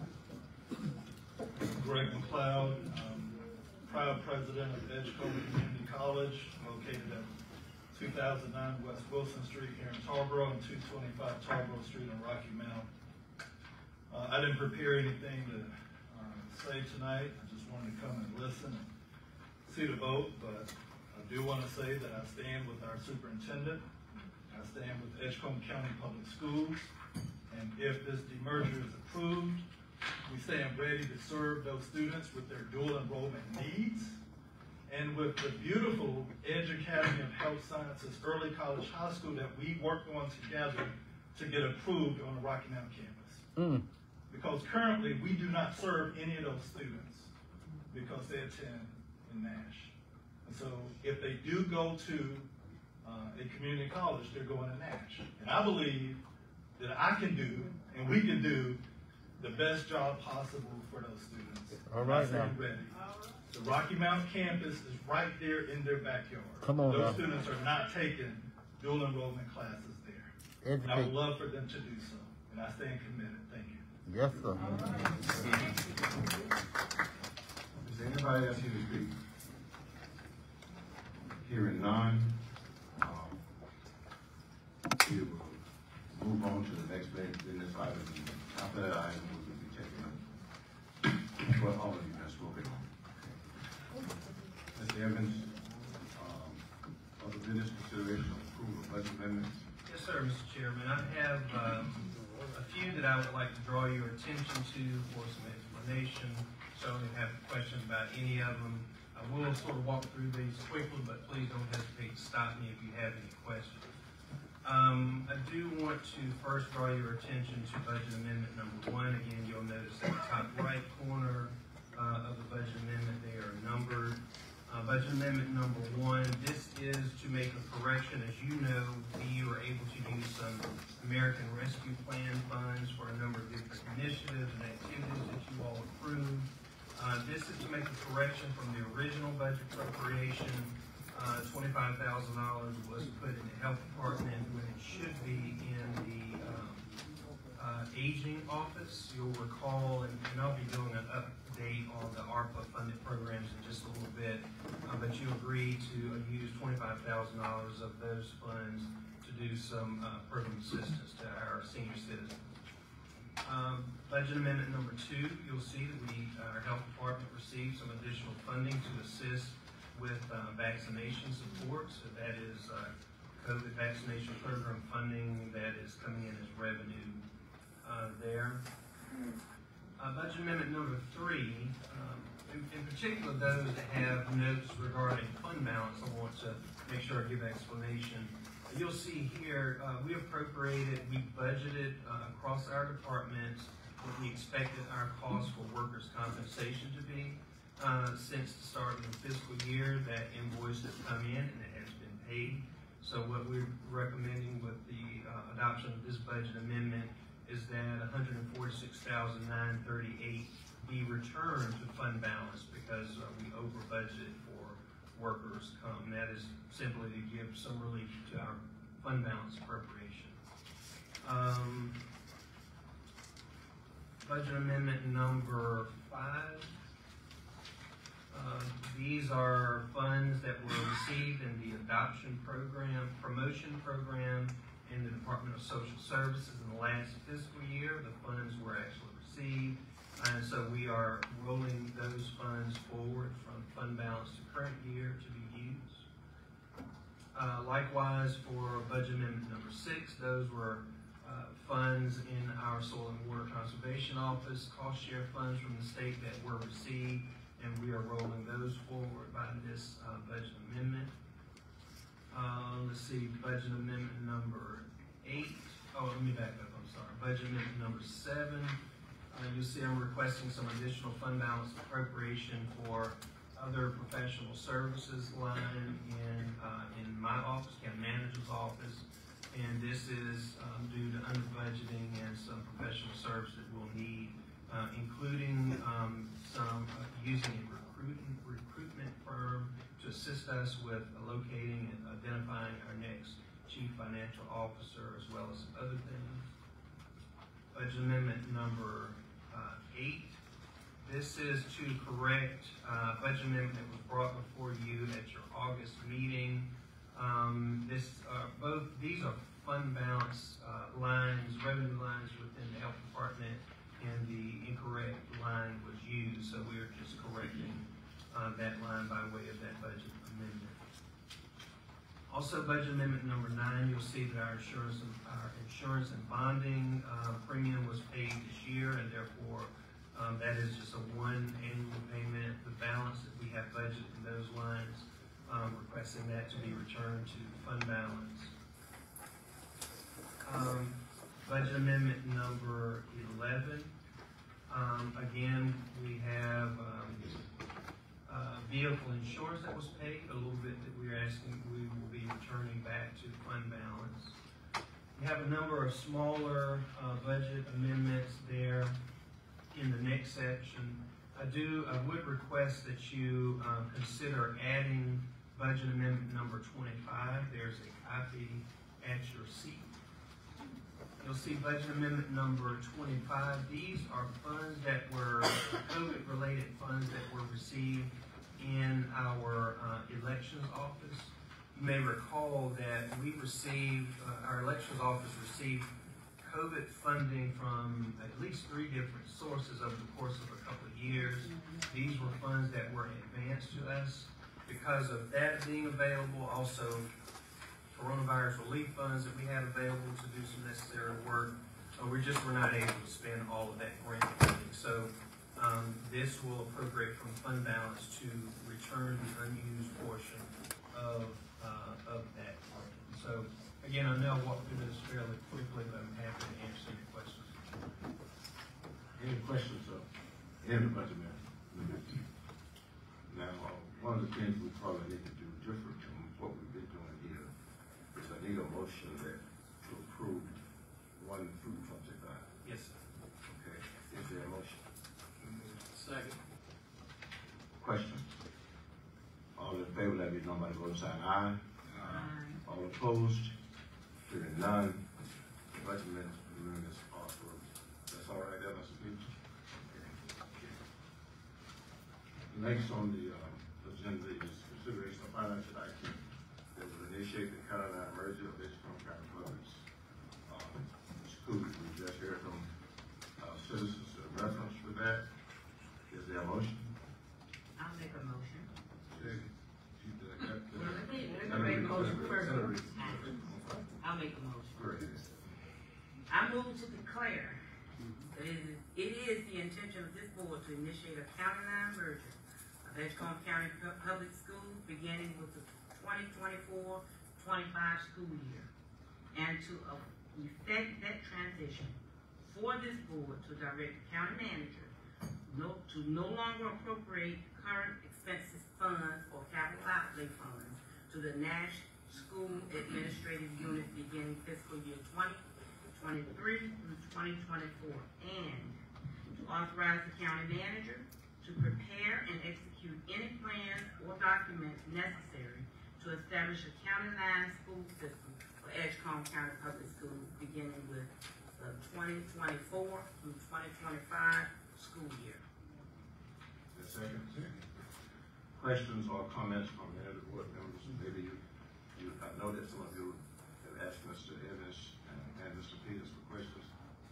Any additional questions or comments that any of the board members might have? Um, the attachment number five, where did you just read what you read from? What's that? What you just read? Read the motion. Motion, President's motion. is that in the book? No, sir. All right, well, I'm gonna question the attachment number five, you just read. What, what was that? That's what. Attachment five. Five, okay. Go right ahead. Um, because what you read doesn't include what it says right here, I think it should. Go ahead. Uh, on this, you got, under consideration be whether the board will take financial action that will have the effect moving the ECPS district line. Is Rocky Mount. This will transition the four schools located on the Edgecombe County side of Rocky Mount, currently in Nash County School System, into the Edgecombe County Public Schools. The schools are via Johnson, Fairview, Baskerville, and Parker.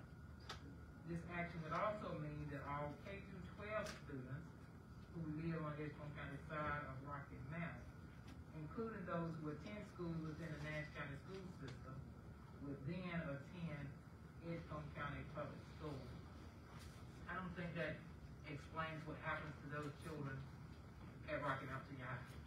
well that uh, that, that is very important, especially those people who started and think they're going to graduate as a Gryphon, Why are they going to graduate as a Gryphon? And that's that's I think if we approve this, that would be between the school boards, and that's that's where the that's where the plan that you're talking about is that the school boards and, and talking with both school boards and the Nash County they are in agreement, and I think that's a discussion that we have had as it relates to that transition in terms of that those children, we can't make, that's not a decision for this board to make.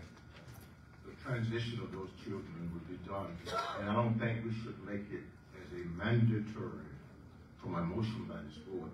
This motion, I had, I had the manager and the, the attorney so that it would meet the criteria of the statute.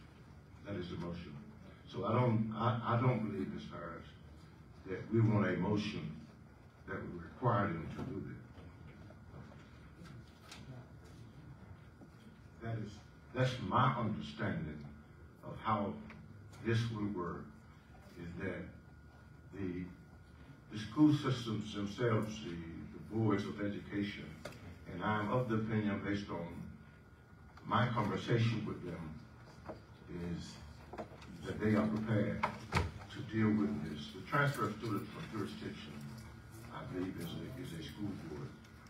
And, and that is what I heard, uh, by present National School Board members and ASCO members. They're in agreement that they will, that this is possibly, more than likely, these children would be allowed to stay and graduate from those, those schools. That That's would certainly be my intent, is that those parents, I don't see a lot of this disturbing where the children will go. Hmm. We're talking about the children that are presently in the four Edgecombe County school system, which have never been to school on the other side of the track that probably will transition fully into our school system. The boards will negotiate for those other students, and the parents will have say-so, and with the school boards in terms of how those students are assigned. That's my understanding. I have a question. Go ahead.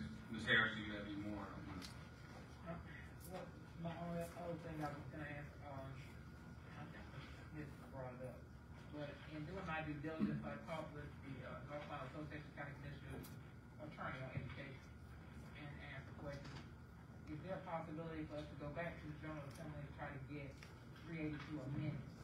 Where we would take care of those folks that are on our side, we agree to it, okay? But we would not wanna pay capital improvement for anything outside of the city limits of Rockets. Um, But I, I really believe that, well, from a political standpoint, um, this is a, uh, a democratic board. And we really don't have no influence other than through our legislative assistance. And when you put a bill on the floor, the legislators, um, don't tell them what you might get. I think the, the, the, the advantage of what we have here, it's a bad bill that we're dealing with. But it's Senate bill for the three eighty-two, what's that? That's right, that's right. It's a bad bill, but it's a good one for the Edgecombe County Commission. That's right. Because it is the first time that we, this board, has an opportunity to make a decision. It was in the decision of four boards. And nobody wanted to release students. This is the first time it is within, within the power of this board for us to determine the destiny of our children, of our children. You know, I've been at this about as long as Mr. Willie now. And I do believe that this is the time, this is the opportunity, and it is our, our, this board's responsibility. We're sending the money there why not keep it here? That is what I would encourage us to do. And Mr. Wood, you had questions? I've uh, got questions, questions, and just want to make some clarity. First of all, I agree that I think we need a plan before we proceed. We invested hundred thousand dollars last year to the Edgecombe schools, and I don't think we got the plan we were looking for. Uh, we have additional costs that are significant. We have a social cost, we have a financial cost. Um, I've sent questions to our county manager, he replied to my questions, and we copied all the commissioners. Edgecombe County would take on a huge financial burden of additional required monies to do the demerger. Um, it would, we would have to spend two million dollars more a year just to equal pay that Nash has.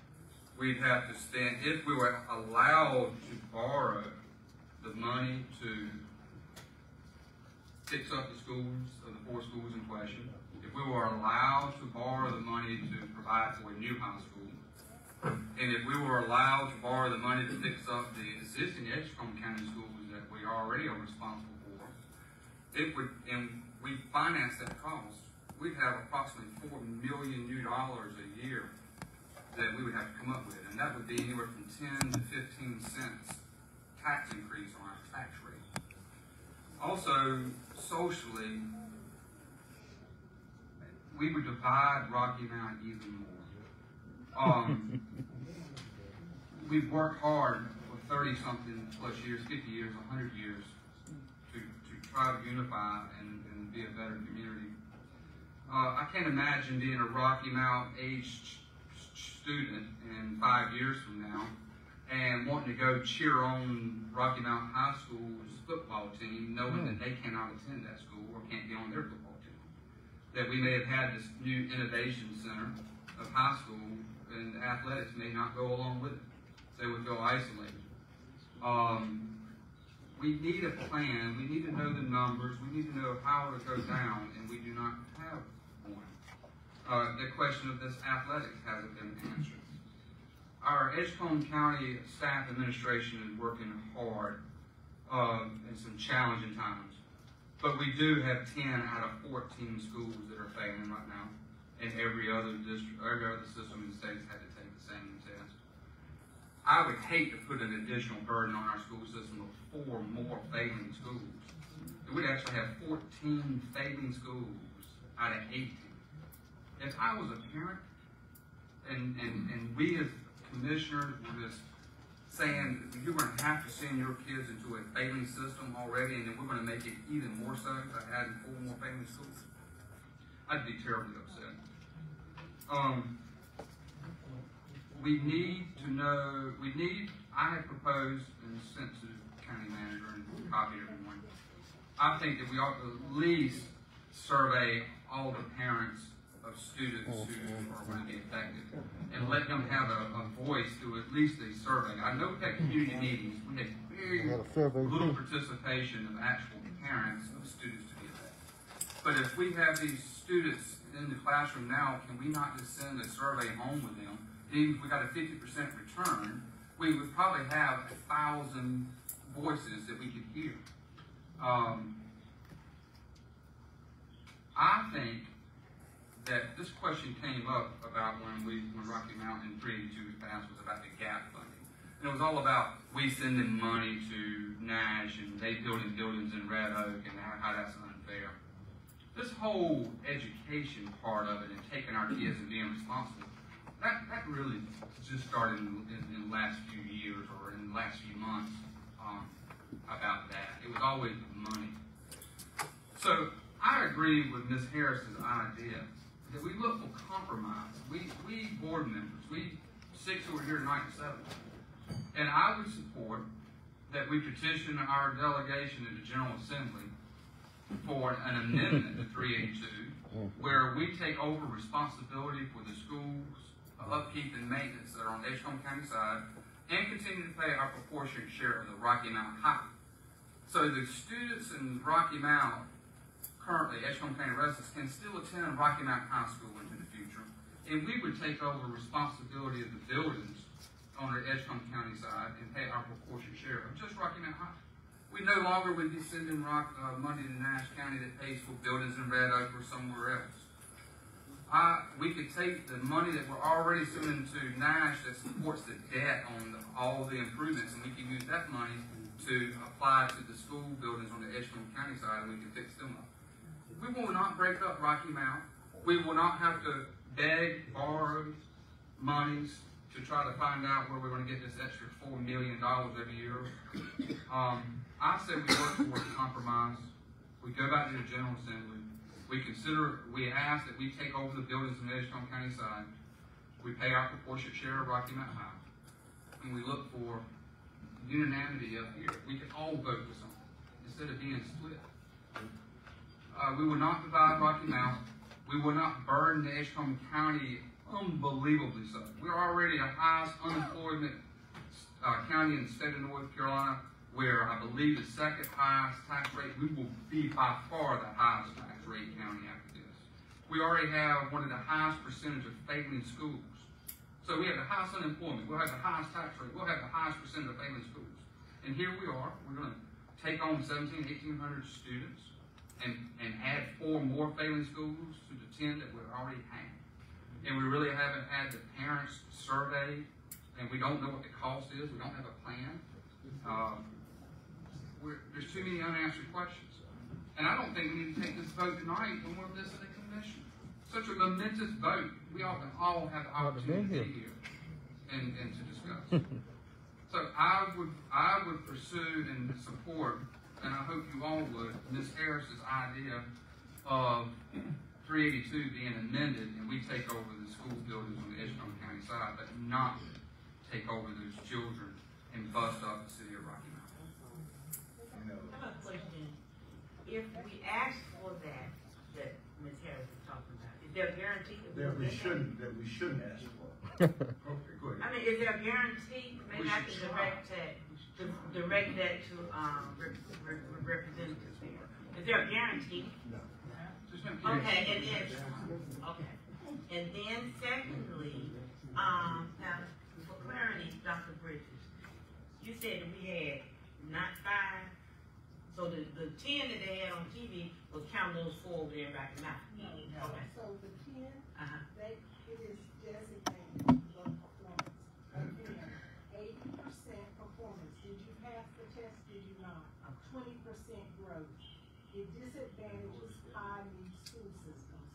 And again, we're in a pandemic, we were twelve and two. That's what we were, we moved up to twelve and two. Before the pandemic, we were lower than that. Okay, and then my question is, you mentioned, um, uh, the schools not getting, I, I, I guess I'm just not seeing it, we're asking for, what we need to do, and I think everybody in here agrees, we need a plan. We get that, but in order to get that plan, that has to be approved by this board in order to even move forward to have the plan. Say you right a now. plan, but you're not willing to give the Board of Education the go-ahead to do that. We can't, they can't do it without us. We gave them a hundred thousand dollars to present a plan, we didn't get the plan, we looked at we didn't get the numbers, we got theory. We really, we, we don't have to vote tonight to, to pass this resolu, this resolution. We can ask for a plan, ask for the numbers, ask for everything that I was just talking about before we vote. I just don't think we need to go jump off that cliff and just hope that we land safe. But I, am I, am I, You're not missing anything. uh, that, that in order to get the plan, to do the plan, to attempt to get there, we have to allow them to go out and get that information. Well, they can't do that without us having to vote. For that. No, they can't. Yes, they can. They have to Why did we work give them a hundred thousand dollars last year without voting? Well, that, Now, that, help me now, help me. you're, you're exactly, Ms. Ms. Powell, I think you're exactly right. Help me now, they cannot work with, uh, DHS without our approval. Am I lost here? They have to have their approval to work with DCD to make sure that everything is up above water. They have the right to work with anyone without a vote tonight. They cannot, they, am I wrong? Mr. Privet, somebody help me, because that's what I was told. You're right, you're right. You're right. In order for them to move forward and even create a plan, they're gonna have to get the okay from this board to go ahead and do that. So why did we give a hundred thousand dollars last year to ask for a plan? Oh, I, I think. For fact finding would and get- alternatives. We probably would not get that question. Let me see where you, go ahead. One last thing. I was in the meeting in February twenty twenty. And I recall, and I read it in the newspaper, at a joint meeting, Superintendent Valerie Bridges told commissioners that she felt that the affected Edgecombe County students were better off staying in a Nash County system because of the lack of resources needed to bring them home properly. When we talked about that we wanted a plan, she said the district would need three major elements. First, they would need twelve to twenty-four months or more to accomplish the transition. Well, that was February 20, 2020. We're going, in 2022. We know we've had the pandemic, but that's what. That's when we said we give them the hundred thousand dollars to start looking into it. Secondly, they would need funding for a special coordinator to oversee the transition. We did that. We gave them the hundred thousand dollars for them to hire that person. And thirdly, they want a plan that would allow the demerger to affect students in grades K through five at first, and for other grades to be gradually phased in later. So what happened to that plan? I, That's, that, that was what they said I at think- that meeting in twenty twenty. I think that, that we also, I think we've had a thing also where the school board presented us, presented to us several options in terms of what could be done if we agreed to this merger. It's in some of the information, I think, that was given to us. They did give us options that we can make. Uh, but back to, maybe some points in terms of I think that maybe in terms of some of the funding issues we're talking about, um, we need to consider that, that it is our responsibility. We need to consider some of the things that we do as part of incentives. A lot of this is done in executive session, that we do incentives and we've taken some actions, and I will be, without giving out information, that we took recently, that we, as a part of incentive, would have funded all of this in terms of what we're talking about, if the board can remember, just for of your memories or things that we have done. We should consider that same action when it comes to the financing of our, of the education of our children. And some of what your question also raised, um, Mr. Wooten, was, um, probably an increase in taxes. Uh, I think we're, we're presently sending capital improvement for those buildings, so that's not an additional cost. No, it, it would be additional, it, above what we're already sending. It is what, what we do, ladies and gentlemen, when it comes to funding each year, is the manager presents us with the budget. Uh, we look at the budget and decide whether we're gonna accept it or change it. And we accept it or change it based on, um, where our revenue's coming from. So this would create no additional burden unless, we have not raised taxes, and I don't see a need to raise taxes in this issue. Some of what hearing. How are we are gonna provide for a youth high school? How are we gonna provide for two million more dollars in teacher pay? Uh, this, this is in, a, in addition above what we already sent in, so as, as, head of the finance committee, who's been in this for ten years, and deep in the numbers, above what we already send them, we would have to come up with two more million dollars per year just to match what National already paying the same teachers. That is to assume that we will match it. Well, we'd have to go in there and tell all these, all the staff that they're gonna take a four percent pay cut. Um, also, we got to fund a new high school. We also, why would we take on this if we're talking about how we're not getting treated fairly on capital improvements if we're not going to spend the money to fix up the buildings? So all of that is in addition to what we send. It would be four million dollars a year of reoccurring costs that we would have to pay. That's if we're lucky. We don't even know what a new high school is going to do with the concept. That's a projected cost. Be a decision by this board at the time it needs to be made. That's a projected cost. That he makes, not this board. These are the numbers that were given to us by county staff. It's not me sitting here by myself. If- Those numbers were given by the county manager of how much it would cost per year to do what I just said, to have teacher supplement and to build a high school that is estimated to be eight million dollars in Rocky Mount. And to, and for the eight, seven point eight million dollars of improvements required on the existing buildings we would take back. Plus Edgecombe County, we can't even take care of our own buildings already. We have eight to ten million dollars of needs on existing facilities. Existing facilities. This is new dollars. This is not, not just moving money from one hand to the other. This is all new. Counties do not grow unless they invest in their schools. Our community, the east side of Rocky Mount, which is the side that I serve, will not grow. They will continue to move out of there if we, I'm proposing that we, county commissioners, do not take charge when we have an opportunity. I would suggest that we support this. Go ahead, I mean, them a hand. well, I was just saying, I, I, I Go ahead, go support. I support we in- invest in improving those schools. I support Ms. Harris's idea that we find compromise and go back and at least get a, a try at the General Assembly. And we pay to maintain the buildings on our side. That is an investment. Let's, let's start with Terry. Mr. Chairman, I've been sitting here all night. And I'm listening at what has not, or what has happened. When are we gonna take responsibility, I say, if we got low performing schools, that means that our children are reading and writing and learning. If we got bad teachers, that means that they're not teaching what they ought to be teaching.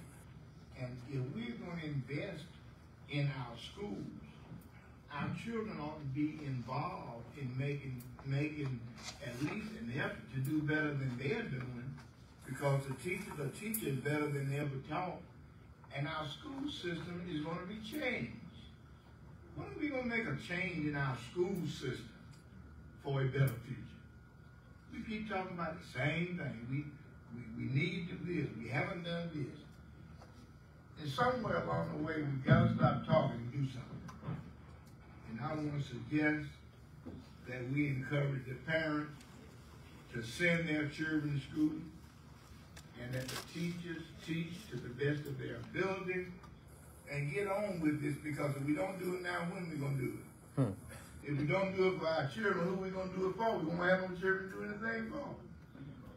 And somewhere along the way, we've gotta stop talking, make a plan, and get on with the work.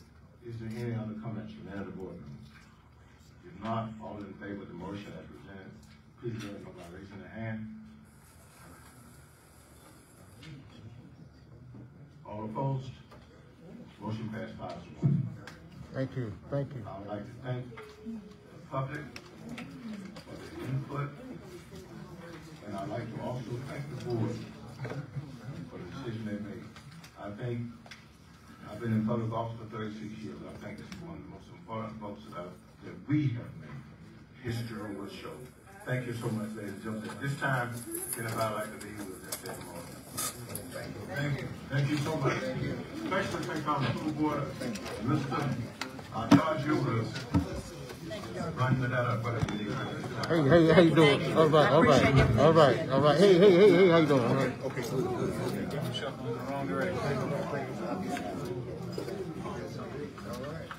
Thank you, sir.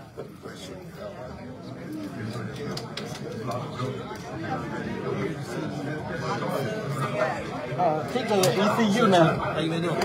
Yeah, he go. He got to go two years. He already got a degree. Yeah. I appreciate it. Nah, No, Appreciate you, man.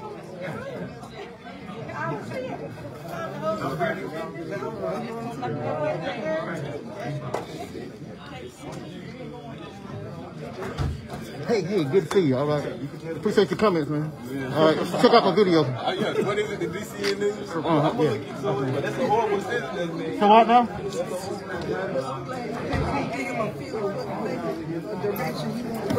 Hey, hey. Please do. Good to see you. Make sure they get you now for release to take the festival. You doing eleven? Yeah. What time is it now? Five. You can be released. Just gotta get them to to that line. Oh,